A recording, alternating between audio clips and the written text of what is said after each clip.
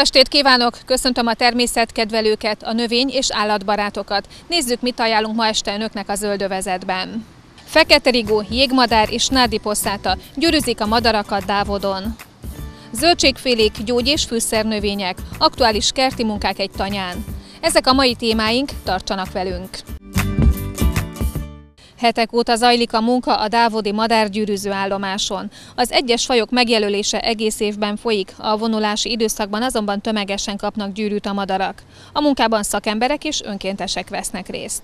Foltos és cserregő nádiposzáta, fekete rigó, parti és füsti fecske került sok más mellett a hálóba ebben az időszakban. A gyűrűző állomás Dávod külterületén egy nádas természetvédelmi területen található. Itt pihennek meg és gyűjtenek táplálékot a vonuló madarak. A vonulás július közepén kezdődik, ilyenkor építik ki a hálók rendszerét a természetvédelmi őrök. A napi feladatok közé a gyűrűzés, a megfigyelés és az adatok rögzítése tartozik. Hajnalban a legnagyobb a madaraknak az aktivitása, ekkor, ha jobb napunk van, akkor egy 50-70 példányt simán be tudunk fogni a madarak közül.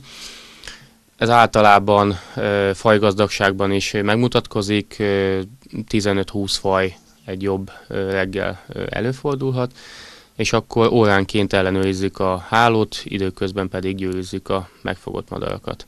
Ez a tevékenység nagyjából 9-10 óráig tart a nyári időszakban, akkor a meleg miatt a madarak biztonsága ö, tekintetében inkább összehúzzuk a hálókat, tehát fogásképtelené tesszük őket, és ekkor van lehetőség a, az étkezésre, a pihenőre, az egyéb ö, dolgokra, és ahogy a délutáni időszakban visszahűl a levegő, enyhül a szél, akkor ismét a hálókat fogásképessé tesszük, és akkor ismételten madárgyőzési a fő időtöltés. Szintén egy foltos nádiposzáta, egy fiatal példány idén kelt ki.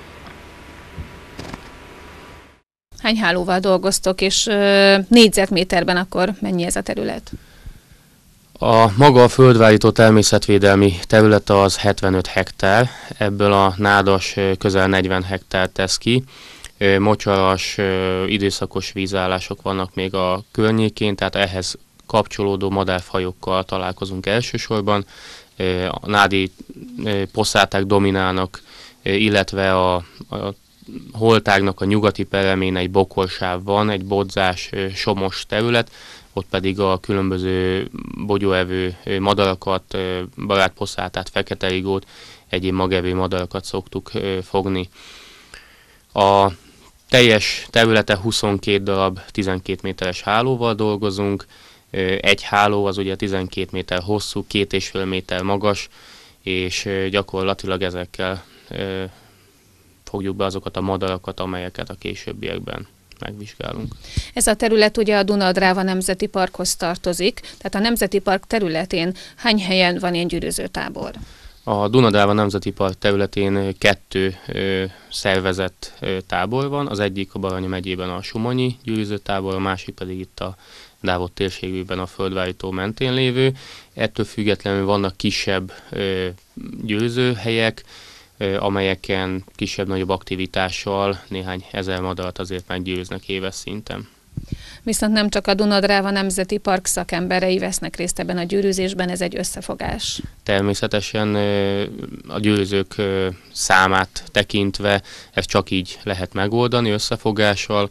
A szomszédos területekről a Kiskunsági Nemzeti Park igazgatóság részéről néhány területi kollega beszokott nekünk segíteni a munkába, és hát a cél az közös, éppen ezért a munka is közös. Jelenleg most hányan vagytok itt, és ők kik?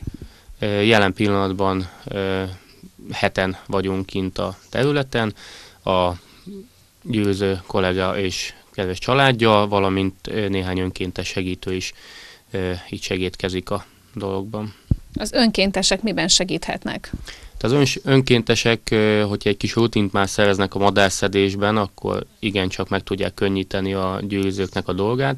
Tehát a reggeli szedések, délelőtti szedések alkalmával azért be tudnak segíteni bizonyos madárfajok esetén, illetve hát ha már a gyűrűzés folyamán a tömegmérést, a madaraknak az adogatását meg tudják oldani, akkor ezzel felgyorsítjuk magát a folyamatot. Nyugtasd meg légy szíves a kívülállókat, akik még soha nem láttak ilyet, hogy a madár, amikor beleakad a hálóba, az nem fáj neki, amikor kiszeditek, az nem fáj neki, amikor ráteszitek a gyűrűt, akkor se lesz semmi baja, és amíg viseli egész életében, az se okoz neki problémát. Ez alapvetően így van, a hálók úgy lettek speciálisan kitalálva, hogy a madár az sérülésmentesen beleakad, ugye a nádi poszátáknak is az a reakciójuk, hogy egyből a lábukkal megfognak, amit tudnak, tehát sok esetben a madarak nem is bele vannak akadva tulajdonképpen, hanem csak ráfognak a hálóra, ezért a madarak lábának a kiszabadításával már gyakorlatilag nyert ügyünk van, hogy könnyedén kiszedjük a madarakat.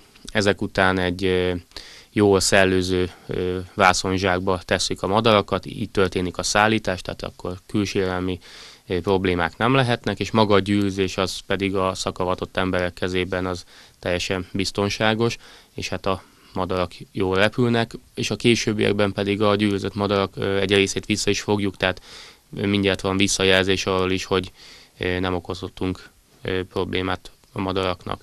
Az idejében több visszafogásunk is volt, van olyan madár, amit öt évvel ezelőtt így gyűlöztünk, és néhány nappal korábban most visszafogtuk. Semmi problémája nincs, a gyűrű ugyanúgy rajta van, nem okozott sérülést a madárnak. Barátposzáta, barátka más néven, és a helyzet az, hogy minden fiatal barátkának barna a feje, de a fiúknak befeketedik. Itt látszik az átmenet, hogy a barnából befeketedik a uh-huh, tollazata. És tehát ő egy idei és hím fiú példány. Egy-egy évben összesen ez hány embert mozgat meg? Belértve a szakembereket és az önkénteseket, tehát júliustól szeptemberig, októberig. A győzők, illetve azok segédei éves szinten, tehát ebbe a 10 hétbe körülbelül olyan, olyan 60-70 fő ami ö, megfordul a területen. Van, aki csak egy-egy napra tud kijönni, van, aki egy-egy hetet is kint tölt és segítkezik nekünk és meg kell különböztetni azokat az érdeklődőket, akik kisebb-nagyobb csapatba, akár családdal, akár osztályjal érkeznek ki. Az idejében több iskolai osztály is megjelent a területen előzetes egyeztetést követően, és hát nekik egy bemutató győzést tartunk, illetve hát egyfajta ifjúságnevelés, szemléletformálás az, amit végzünk itt plusz tevékenységként, és a, az ő számuk az idei évben meghaladja a 200 főt eddig. Füsti fecskékből ugye nagyobb tömegek szoktak éjszakázni a nádba. Ez egy fiatal füsti fecske. A torok foltja az krémszínű, és a tollazata is inkább fekete, mint kékes. A másik egyed, itt a jobb kezembe, ez pedig egy öreg madár, ennek gesztenye barna a tork foltja, hogy a másik mellett látszik is, hogy jóval sötétebb, kékes szín dominál, és az öreg hímeknek, azoknak hosszú, vékony szélső tolluk van, és azt könnyedén meg lehet különböztetni ezáltal. És ez a harmadik kis kakuktojás, ez pedig olyan, mintha egy kis fecske lenne, de ez, ez pedig a parti fecske, és hogyha két fajt megnézzük egymás mellett, akkor azon ki, hogy a rokonság jól látszik, az is feltűnő, hogy a, a testméretben is vannak különbségek. Ez egy öreg parti fecske, ez egy öreg füsti fecske. És mindketten Dél-Afrikába elvándorolnak. Alapvetően a, a fecskék is a, a mediterrán térségen keresztül Észak-Afrika mentén jutnak el a, a telelőterületekre, és az a helyzet, hogy itt hiába védjük a fecskéket, hogyha a telelőterületen ö, valami időjárási körülmény beüt nekik, akkor több tízezer példány is el tudott pusztulni, amire ugye nem vagyunk hatással. Éppen ezért igyekszünk a fészkelőhelyeket megteremteni, táplálkozó területeket biztosítani a madárfaj esetén. Ugye számos esetben műfecskefészkek vannak kihelyezve, illetve az állattartó telepeken is egyre inkább már fecskebaráttá alakítják ki a helyeket, hiszen ott a megfelelő táplálék mennyiséget megtalálják. Ugye a nagy mezőgazdasági kultúrák nem teszik lehetővé, hogy nagy mennyiségű táplálékot találjanak a fecskék, hiszen mindent rovarírtóznak, gyomírtóznak, és a a, ezáltal csökken a táplálékbázisa ezeknek a fajoknak. Jó, füsti fecske megy.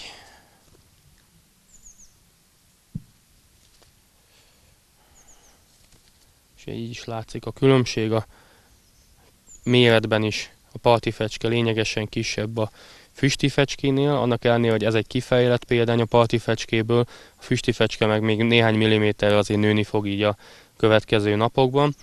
A parti fecske pedig ugye telepesen fészkel, szakadópartokba, homokbányákba, és idén egész jó volt a költési sikerességük annak ellenére, hogy minden telepen gyakorlatilag megjelentek a rókák, amelyek azért nagy ö, csapást jelentenek a fecskékre.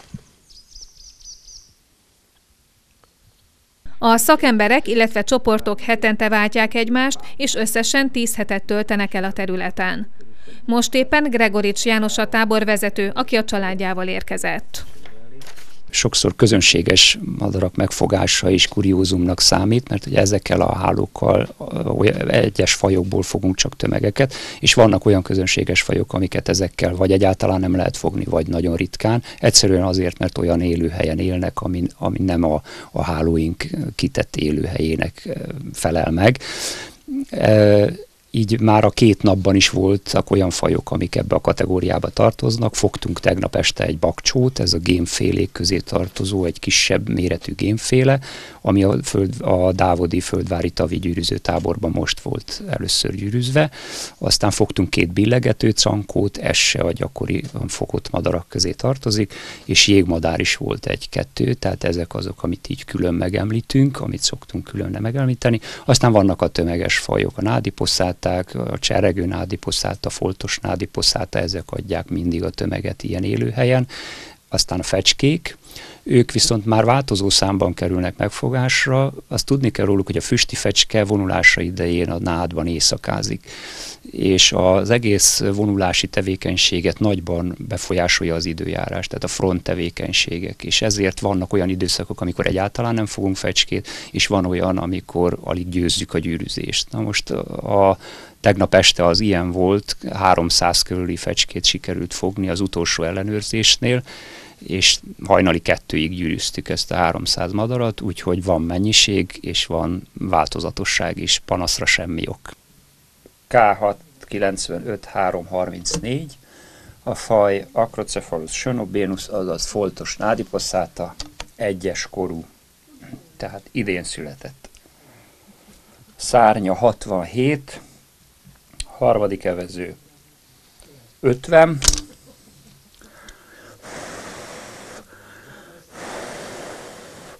zsír egyes, izom egyes, tömege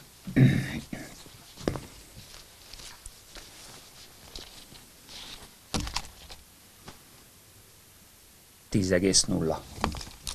Milyen a visszafogott, vagyis már gyűrűzött madarak aránya, és az újonnan gyűrűzött madarak aránya?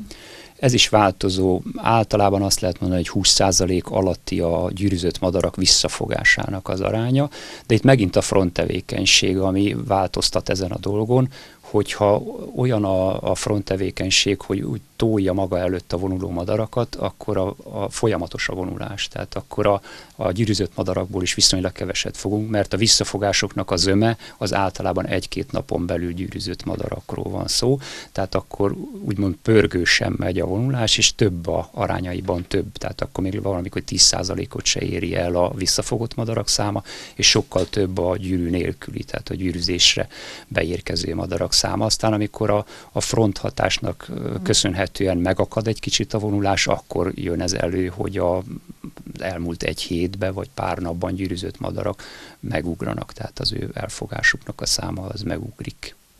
Te ugyebár szakemberként veszel részt ebben a programban, mi a te feladatod? Gyűrűző vagyok én ezen a héten, tehát én koordinálom a gyűrűző munkát, a szedést, és tulajdonképpen egy személyben táborvezető is vagyok tulajdonképpen ezen a héten, tehát mindenért felelek, amiben a tábor, ami a táborban történik, szakmai dolgokban is, meg az ellátásra is nekem kell gondolni.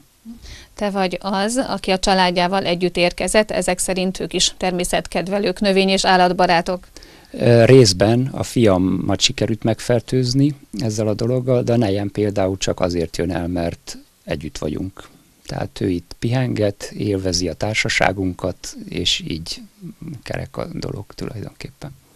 Már az első napokban is találkoztak ritka fajokkal, mondta a szakember.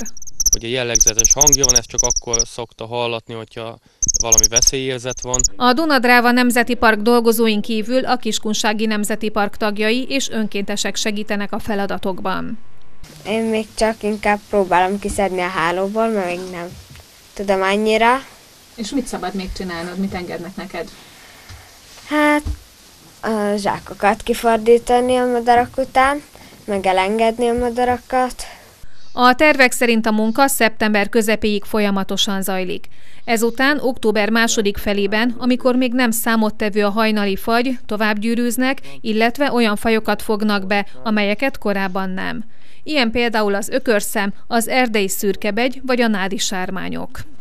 Ezt követően a háló rendszert azt leszedjük, és akkor jön az adatfeldolgozásnak az a monotonitása, hogy az adatokat egyesével bevinni számítógépre, majd amikor ez megtörténik, akkor egyrészt a gyűrűző központ felé nekünk van egy adatszolgáltatási kötelezettségünk, másrészt pedig jönnek az adatoknak a kiértékelése, az előző éveknek a fogásaival való összevetése, és hát természetesen a konklúzióknak a levonása, hogy a következő évben mit kell egy picit jobban, vagy picit máshogy végeznünk ahhoz, hogy tökéletesen működjön a dolog.